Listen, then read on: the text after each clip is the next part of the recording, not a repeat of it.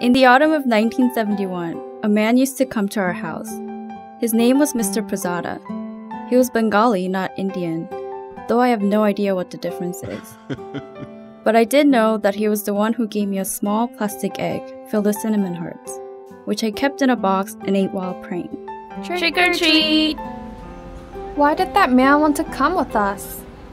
He misses his daughters. He hasn't seen them in a while, that's all. I remember seeing fallen buildings and tanks rolling through dusty streets on the television news. My father told me that India and Pakistan were drawing closer and closer to war.